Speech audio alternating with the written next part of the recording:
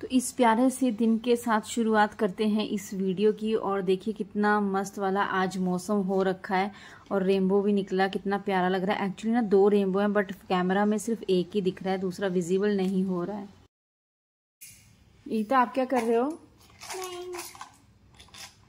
bank bank is magic. Look. Wow, it's magic.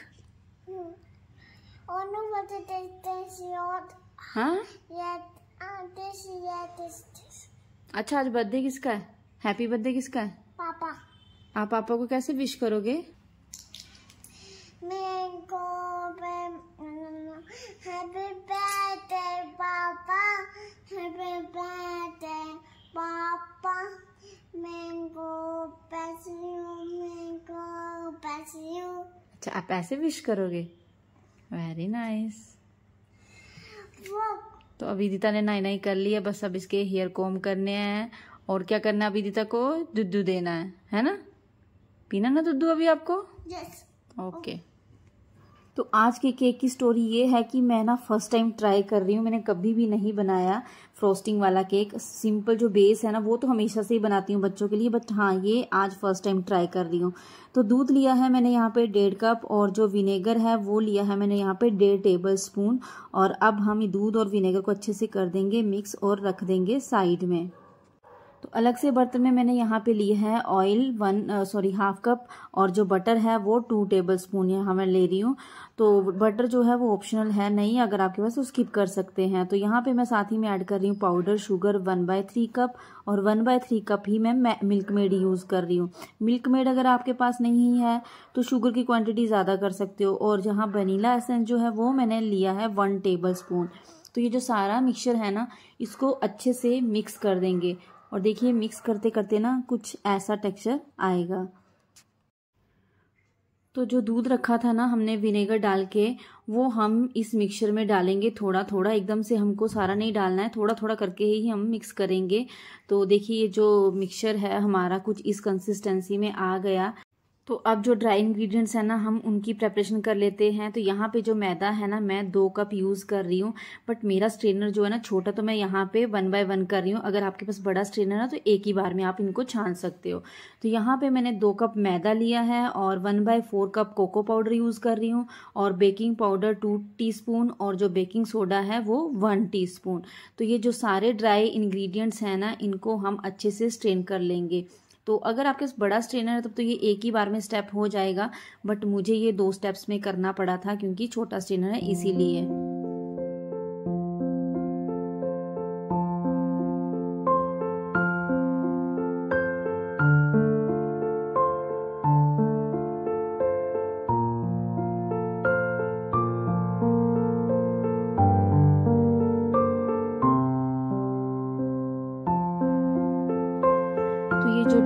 थे ना मैं एक बार मिक्स कर ले रही हूँ चम्मच से ताकि अच्छे से मिक्स हो जाए इवन तो चलिए अब हम करते हैं मिक्स इसको। जो दूध वाला हमने मिक्सर बनाया था उसमें। तो थोड़ा थोड़ा हम मिक्स करेंगे, एकदम से सारा नहीं डालेंगे। हम अच्छे से मिक्स करते हुए जाएँगे थोड़ा थोड़ा और अगर हमें लगेगा ना कि थोड़ा सा ड्राई है तो हम बीच में जो विनेगर वाला दूध रखा था ना, वो हम ऐड करेंगे बट थोड़ा थोड़ा एकदम से हम नहीं करेंगे। थोड़ा थोड़ा ही ऐड करेंगे। फिर से अच्छे से मिक्स करेंगे। और देखिए टेक्सचर जो है ना कलर कितना अच्छा लग रहा है। देख के ही लग रहा है कि केक अच्छा बनेगा। तो जो ड्राई इंग्रेडिएंट्स थे ना, वो सारे के सारे हमने कर दिए मिक्स और जितना हमें लग रहा है दूध, उतना हमने दूध ऐड करके इसको मिक्स कर लिया।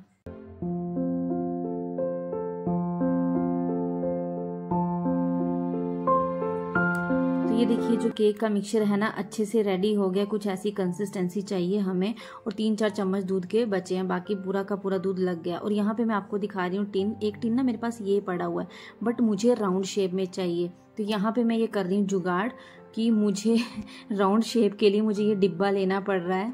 तो इसमें ये जो नीचे बेस में देख रहे हो ना, ये जो इवन नहीं है अनइवन है ये बॉक्स इस चक्कर में ना थोड़ा सा केक मेरा अनइवन आया था। अदरवाइज़ जो केक का टेक्सचर है ना स्पॉन्जी बहुत अच्छे से बना था।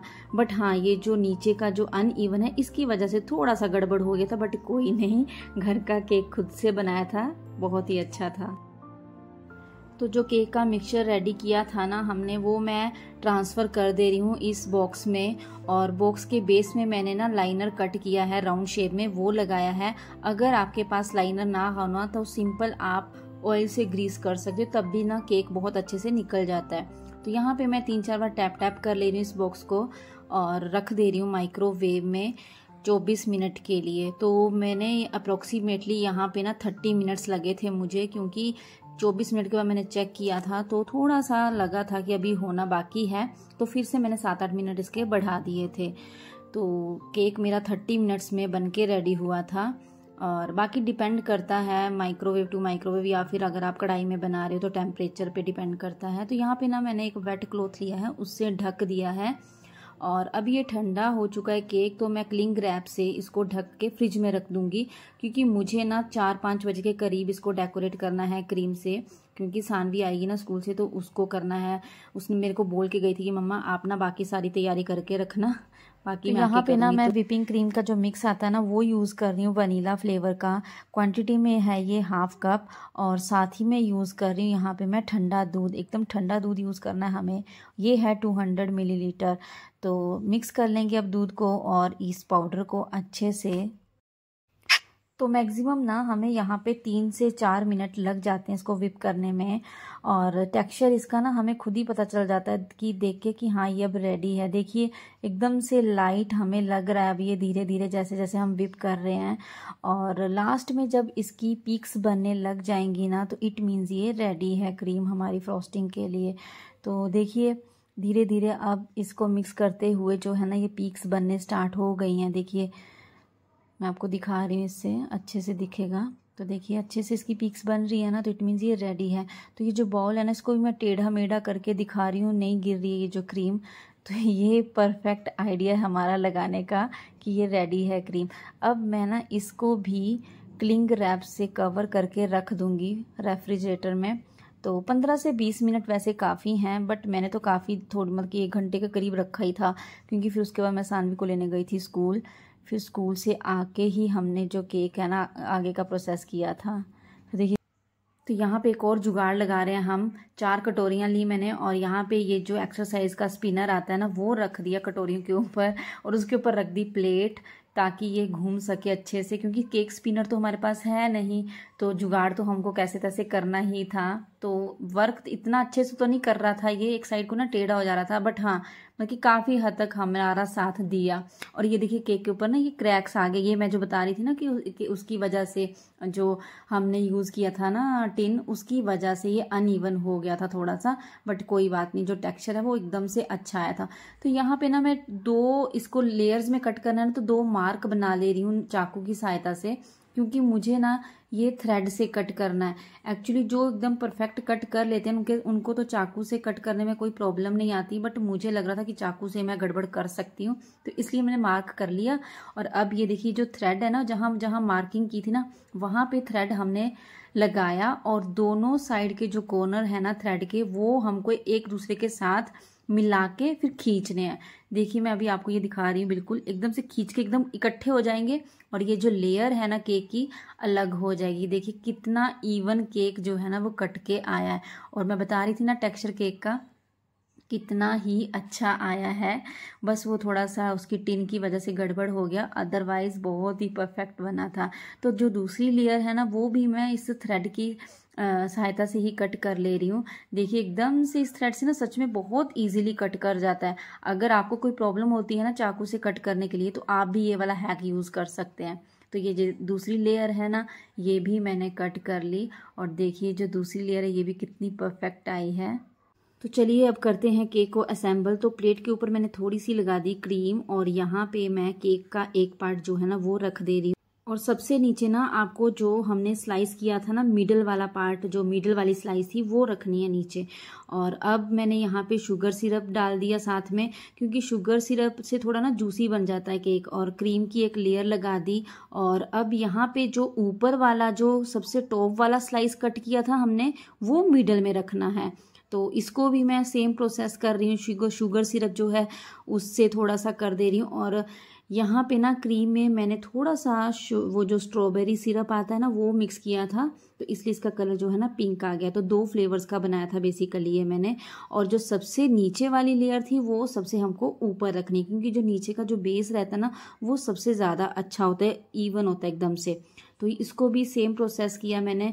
पहले शुगर सिरप से टचअप दिया और उसके बाद जो है क्रीम की लेयर लगा दी। तो यहाँ पे ना हमें क्रीम की फिनिशिंग नहीं, अगर अच्छे से लग रही है कि फिनिशिंग नहीं आ रही है तो यहाँ पे टेंशन लेने की कोई बात नहीं है, क्योंकि हमें इसको आधे घंटे के लिए फिर से फ्रिज में रखना है सेट होने के लिए। तो अभी फ्रिज में मैंने रख दिया केक को और यहाँ पे जो चॉकलेट आती है नॉर्मल जो डेरी मिल्क उसको मैं यहाँ पे पीलर से कट कर ले रही हूँ। देखिए, थोड़े से अलग से हमें यहाँ पे चाहिए डेकोरेट करने के लिए चॉकलेट के स्लाइसिस तो इसको मैं पीलर से कर ले रही हूँ।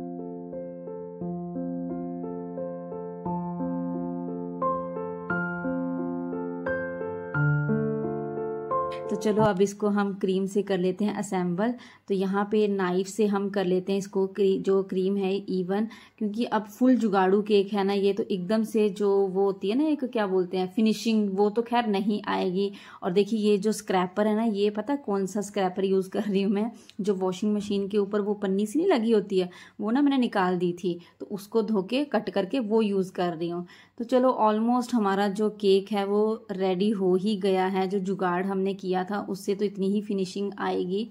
और अब सांधी बना रही है यहाँ पे इसके फ्लावर्स क्योंकि जब से हम प्लान कर रहे थे ना कि केक हम घर में बनाएँगे खुद से तो सानवी बहुत एक्साइटेड थी कि डेकोरेट तो केक को मैं ही करूँगी। तो देखिए पूरा जो डेकोरेट का काम है सानवी ने किया है और देखने में कितना अच्छा लग रहा है केक तो जितना देखने में अच्छा लग रहा है ना एक्चुअल में खाने में भी बहुत ही टेस्टी था।